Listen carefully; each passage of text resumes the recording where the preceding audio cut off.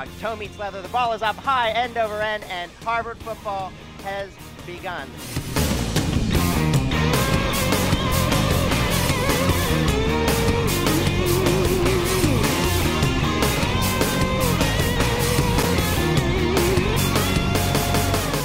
Harvard, uh, Colton Chapple is out of the shotgun, fakes the handoff to Scales, and then just sits in the pocket. He has plenty of time, and he fires deep. He finds Cam Brate wide open in the end zone. Harvard touchdown!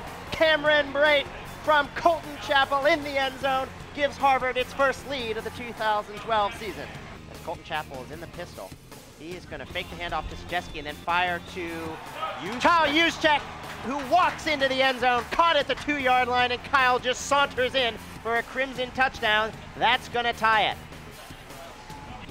So kind of a goal line formation for Harvard. Chapple is going to pitch it to the option to Treavor Scales, and Scales will go for a touchdown. Love the play call there. Just as we're saying that Chapple has that escapability factor, the Harvard Crimson completely exploit that with the option. Chapple in the pistol.